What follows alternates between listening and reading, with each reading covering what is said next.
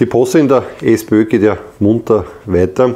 Es wurde kürzlich bekannt, dass auch der Herr Deutsch seinen Posten als Bundesgeschäftsführer der SPÖ zurückgelegt hat. Man hat also die Deutschpflicht in der SPÖ ganz offensichtlich abgeschafft. Und da gibt es auch einen Ausschnitt von einem äh, Interview im Rahmen der Niederösterreich-Wahl, bei dem ich das bereits antizipiert habe. Ich habe damals gesagt, also ich glaube nicht, dass der Herr Deutsch derjenige ist, der nach weitere Wahlausgänge mit mir gemeinsam hier kommentieren wird. Und ich hatte vor Monaten schon recht, aber mehr dazu in dem kurzen Ausschnitt, der gleich folgt. Aber es stellt sich ja für mich viel mehr die Frage, wer sind in Zukunft noch Verhandlungspartner in der SPÖ? Also wir wissen nicht, wie lange Ihre Opfer jetzt tatsächlich noch äh, Bundesopfer sein wird, der SPÖ, ob es da nicht jetzt irgendwann einmal einen Tausch gibt nach der nächsten Wahlschlappe in Serie. Ja.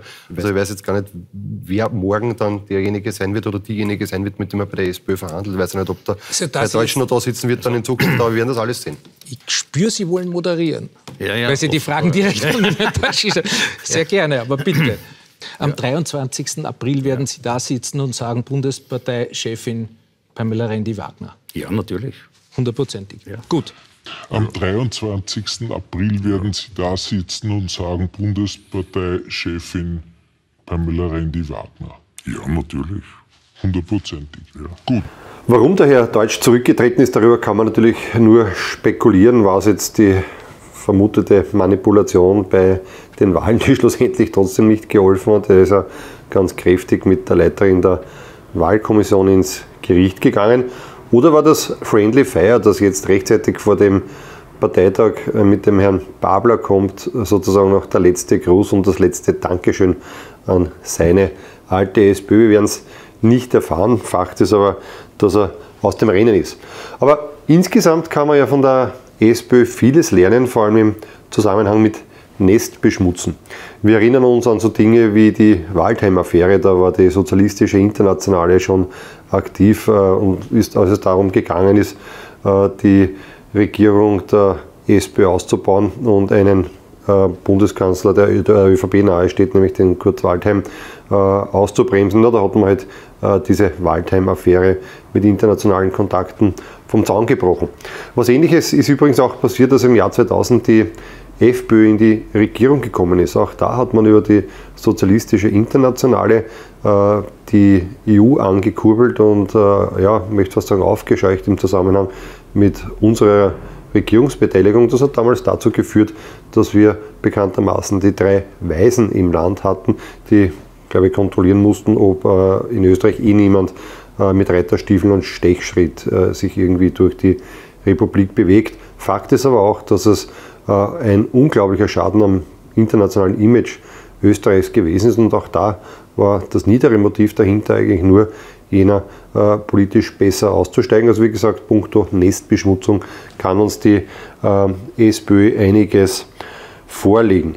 Äh, und ja, wie wir in den letzten Tagen gesehen haben, da wird das zur Not auch in der eigenen Partei durchgezogen. Ich habe es vorher bereits erwähnt, also pünktlich vor dem Parteitag, äh, wo ja Doskozil gegen Babler antreten wird. Ob es jetzt einen dritten gibt oder nicht, steht ja noch in den Sternen.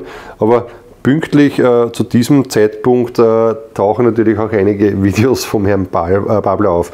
Und da muss man eines schon dazu sagen, meine, natürlich gehört ein gewisses Maß an gespaltener Persönlichkeit dazu, wenn man äh, zum Beispiel auf der einen Seite vor nicht allzu langer Zeit noch äh, davon spricht, dass man ein glühender Marxist ist und äh, ja, kurze Zeit später dann eigentlich kleinlaut zugeben muss, na, dass er das jetzt so nicht sieht und dass er doch kein Marxist ist.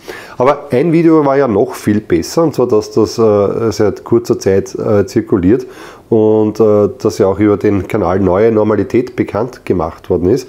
Und zwar ist es äh, das Video, wo der Herr Babler davon spricht, ich glaube, das war ein Gespräch mit dem Herrn Fussi gemeinsam, auch ein SPÖ-Berater, wo er also darüber spricht, was er von der EU hält. Und da gibt es schon Dinge, äh, die dort äh, gesagt hat, da kann man sich fast ein bisschen anschnallen, denn ähm, er spricht davon, ähm, dass äh, die EU nicht leiden kann. Und es ist auch eine, er hat sich auch der Bewegung gegen die EU angeschlossen, weil er dieses Konstrukt aktiv bekämpfen wollte. Ähm, er hat davon gesprochen, es ist ein neoliberales, kapitalistisches, äh, protektionistisches US-amerikanisches Konstrukt der übelsten Sorte und der übelsten Art und Weise. Und dann hat er noch davon gesprochen, dass es die aggressivste außenpolitisch, das aggressivste außenpolitische und militärische Bündnis sei, das es jemals gab. Schlimmer als die NATO. Das ist das, was der Herr Babler in seinem Video gesagt hat. Und jetzt gibt es aus meiner Sicht zwei Möglichkeiten. Also entweder äh, er wird von den Genossen dazu gedemütigt, diese Aussagen wieder zurückzuziehen und das ähnlich wie bei dem Marxismus äh, zu begradigen. Oder, na, es gibt eigentlich drei Möglichkeiten. Oder er wird einfach aufgrund dessen nicht gewählt. Oder es wird die SPÖ zur SPÖ Plus, so ein bisschen äh, ins Marxistische schielend. Und diese SPÖ Plus, die hätte ja dann zumindest was die EU-Politik äh, betrifft, doch einige Berührungspunkte oder gemeinsame Kritikpunkte mit uns Freiheitlichen. Und da stellt sich dann wieder die Frage, also wenn die SPÖ unter Babler eine SPÖ Plus wird und diesen EU-Kurs weiter behalten kann, ja, dann muss ja wohl auch der Blockadekurs im Zusammenhang oder äh, im Zusammenhang mit der FPÖ enden. Dann muss ja die Ausgrenzung aufhören. Also ich bin gespannt, was die nächsten Tage bringen. Bin den Genossen aber jedenfalls dankbar für die tägliche Belustigung aus den eigenen Kreisen.